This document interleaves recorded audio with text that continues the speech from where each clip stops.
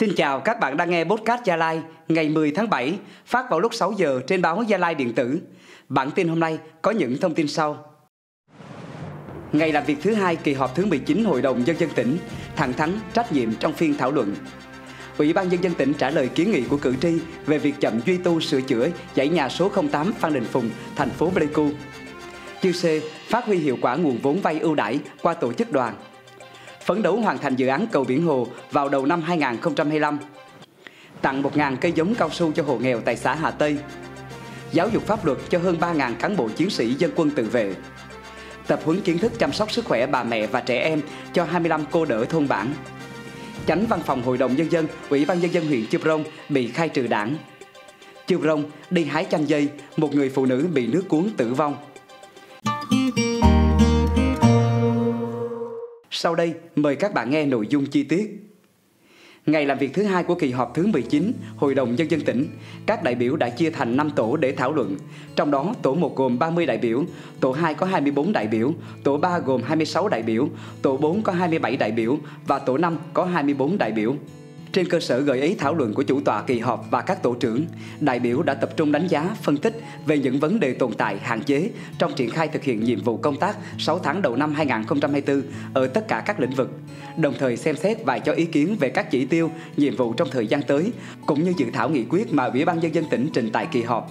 Nhiều đại biểu cũng đề cập đến kết quả giải quyết các ý kiến kiến nghị của cử tri gửi đến kỳ họp thứ 19 Hội đồng Nhân dân tỉnh khóa 12 nói riêng và tại các kỳ họp trước đây nói chung.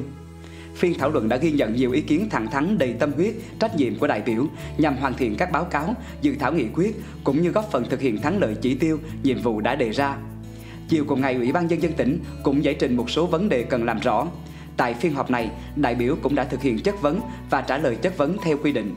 Sáng nay ngày 10 tháng 7, đại biểu Hội đồng Nhân dân tỉnh và Ủy viên Ủy ban Nhân dân tỉnh tiếp tục thực hiện chất vấn và trả lời chất vấn. Hội đồng Nhân dân tỉnh cũng tiến hành thảo luận và thông qua các nghị quyết.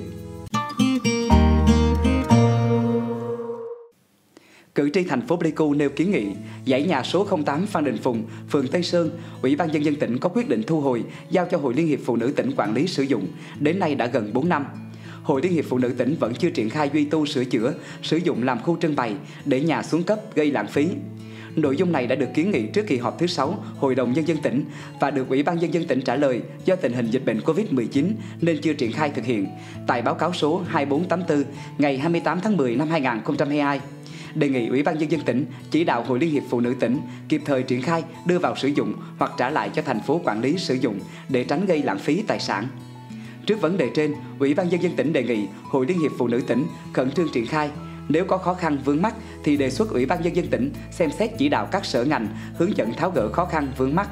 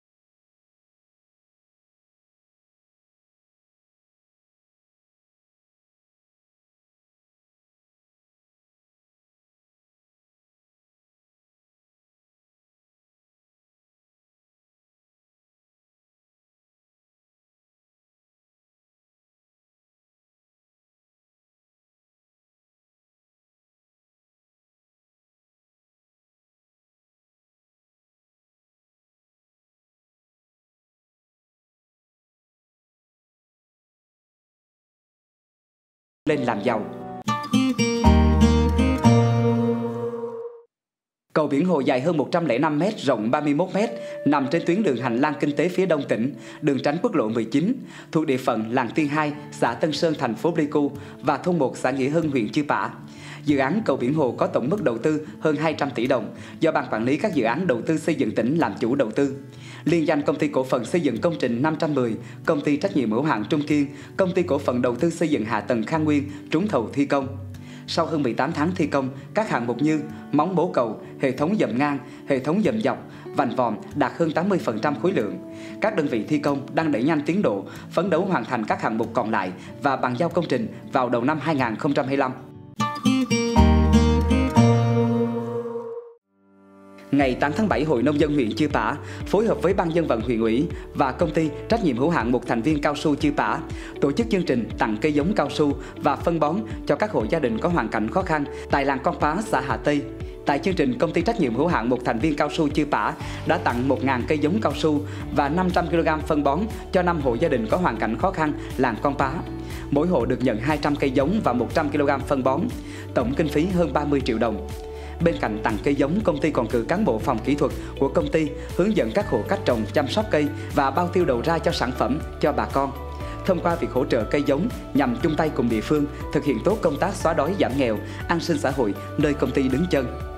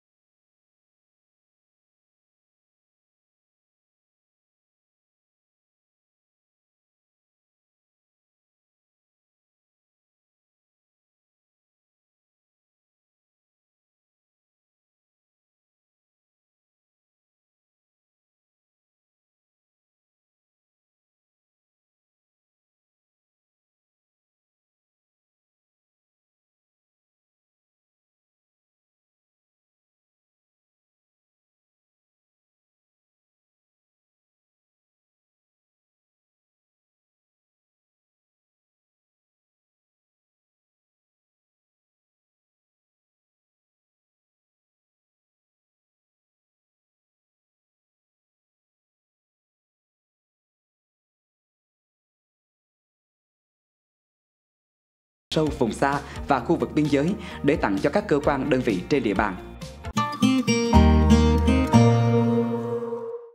Ngày 8 đến ngày 12 tháng 7, Trung tâm Kiểm soát Bệnh tật tỉnh Gia Lai tổ chức lớp tập huấn đào tạo cập nhật chăm sóc sức khỏe bà mẹ và trẻ sơ sinh cho 25 cô đỡ thôn bản tại các xã khó khăn trên địa bàn tỉnh.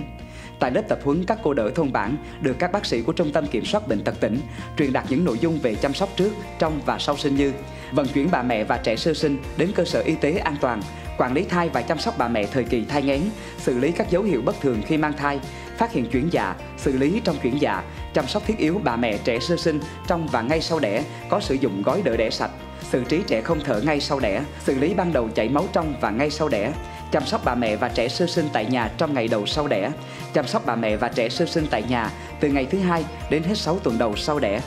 Đây là hoạt động nằm trong nhóm hoạt động triển khai dự án 7 chăm sóc sức khỏe nhân dân, nâng cao thể trạng tầm vóc người dân tộc thiểu số, phòng chống suy dinh dưỡng trẻ em thuộc chương trình mục tiêu quốc gia phát triển kinh tế xã hội vùng đồng bào dân tộc thiểu số và miền núi giai đoạn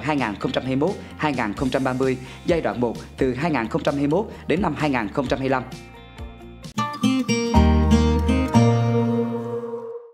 Theo nguồn tin của báo Gia Lai, Ủy ban Kiểm tra huyện ủy Chư Prong đã công bố quyết định khai trừ đảng đối với ông Nguyễn Tiến Tạo, Chánh Văn phòng Hội đồng Nhân dân, Ủy ban Nhân dân huyện Chư Prong, đảng viên thuộc chi bộ Văn phòng Hội đồng Nhân dân và Ủy ban Nhân dân huyện Chư Prong. Năm 2016, huyện Chư Prong được tỉnh giao nhiệm vụ triển khai thực hiện việc thu hồi đất và bồi thường hỗ trợ tái định cư trên địa bàn. Thời điểm đó, ông Nguyễn Tiến Tạo sinh năm 1981 còn làm Phó trưởng phòng Tài nguyên môi trường huyện Chư Prong đã có sai phạm trong việc bồi thường, hỗ trợ tái định cư thuộc công trình hồ chứa nước Gia Mơ, hạng mục kênh Đông Kênh Tây, Cụ thể, ông Nguyễn Tiến Tạo và Nguyễn Ngọc Ánh sinh năm 1986, chuyên viên phòng tài nguyên và môi trường huyện Chư Prong, do tin tưởng nên kiểm tra sơ sài, không phát hiện sự gian dối trong các hồ sơ của các hộ dân. Sau đó, ông Tạo đã ký đồng ý với phương án đền bù, dẫn đến việc hỗ trợ trái quy định cho 11 hộ dân này với số tiền hơn 910 triệu đồng. Được biết, Viện Kiểm sát Nhân dân tỉnh vừa ban hành cáo trạng truy tố ông Nguyễn Tiến Tạo về tội thiếu trách nhiệm gây hậu quả nghiêm trọng. Chiều ngày 8 tháng 7, Ủy ban Nhân dân xã Gia Băng, huyện Chư Prong, tỉnh Gia Lai cho biết đã đến thăm hỏi động viên và san sẻ nỗi đau với gia đình bà Ngô Thị Hằng, sinh năm 1975, trú tại thôn Phú Tân, xã Gia Băng. Trước đó ngày 7 tháng 7, bà Hằng đi hái chanh dây trong rẫy của gia đình tại thôn Hoàng Ân, xã Gia Phìn, huyện Chư Prong. Khoảng 16 giờ chiều cùng ngày, tại khu vực này xảy ra mưa to, dông xét bất ngờ. Gặp mưa, bà Hằng lái xe máy từ rẫy về. Trên đường về, bà đã gặp phải dòng nước do mưa đổ xuống khiến cả người và xe bị cuốn trôi. Đến sáng ngày 8 tháng 7, người dân trong vùng đã phát hiện thi thể của bà Hằng nằm giữa bùn đất tại cánh đồng thuộc thôn Hoàng Ân, cách rẫy của gia đình khoảng 500 mét nên đã trình báo cơ quan chức năng. Công tác xác minh khám nghiệm tử thi ban đầu xác định bà Hằng tử vong do đuối nước. Được biết hiện bà Hằng đang sống một mình tại thôn Phú Tân, xã Gia Băng, con cái hiện đang đi học tại thành phố Đà Nẵng. Thông tin vừa rồi đã khép lại bản tin ngày hôm nay. Cảm ơn các bạn đã lắng nghe. Xin hẹn gặp lại các bạn vào bản tin sáng ngày 11 tháng 7.